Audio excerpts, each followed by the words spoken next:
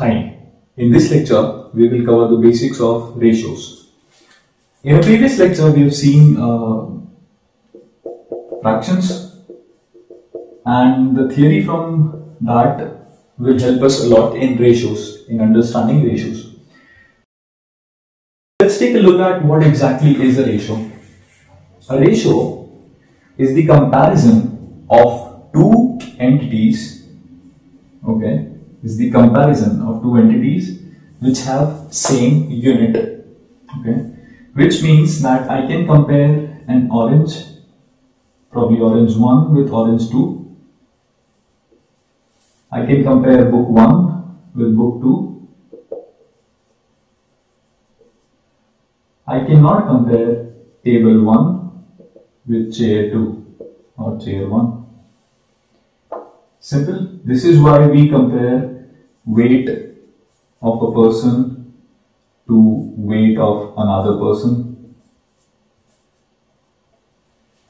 This is why we compare the score of one person to the score of another person.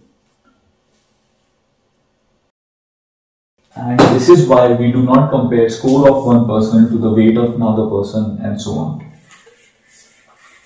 A ratio is represented mathematically as this. This is the colon sign. A here is the antecedent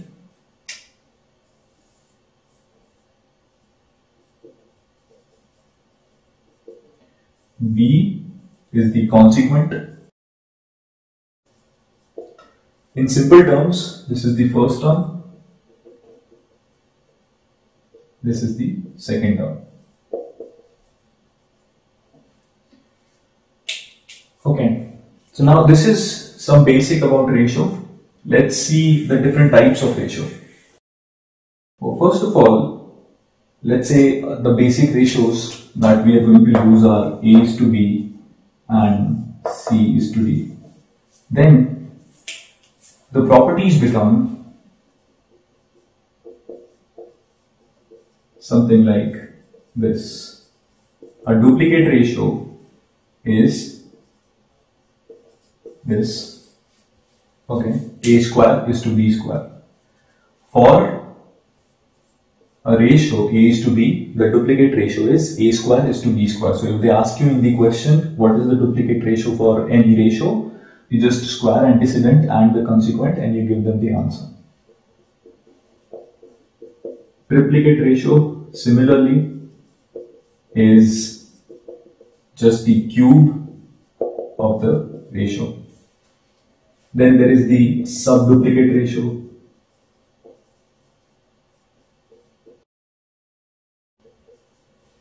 This is the root, okay, on both sides. Okay, now there is uh, the compounded ratio. This is calculated for two ratios. For A is to B and C is to D, the compounded ratio is AC is to BD. Simply the product of the two given ratios. Okay. The compounded ratio is calculated thus. Okay. These are some types of ratios. Let's move on to the different properties of ratios.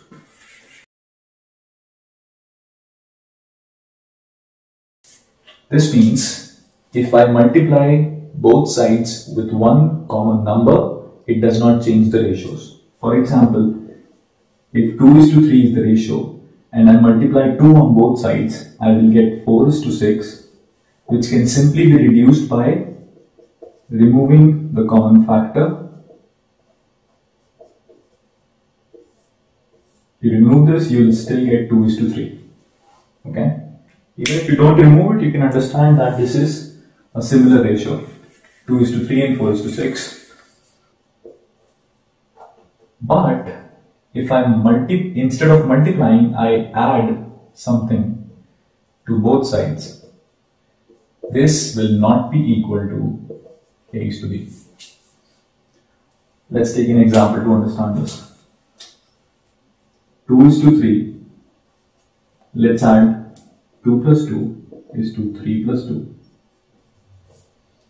We get 4 is to 5. This is clearly not equal to this. Okay. Now, one common mistake that we make is of assuming that this is true. A lot of times we make the mistake of thinking that a is to b is equal to a square is to b square. All we have done is just squared on both sides. So you know what? This gets reduced and we'll still get a is to b. This is not true. a is to b is not equal to a square is to b square. We can easily understand this by taking an example. Again, 2 is to 3. I square on both sides, I get 4 is to 9. Clearly, this is not reducible further. I cannot do anything here. This is 3 into 3. This is 2 into 2. You cannot reduce it this is a ratio or a fraction by itself, this is a ratio or a fraction by itself, these are not equal. In both these cases, we have to ensure that A is not equal to B. Okay.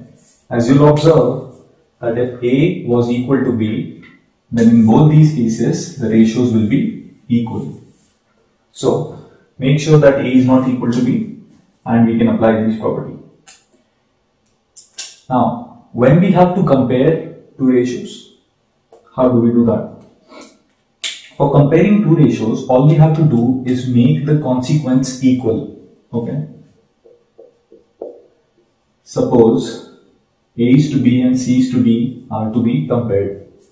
All we have to do is ensure that this and this become equal by you know putting in some properties and then we can compare the two ratios. Let's see what happens. How do we make them equal? It's very simple. You multiply this side by D so that you get AD is to BD.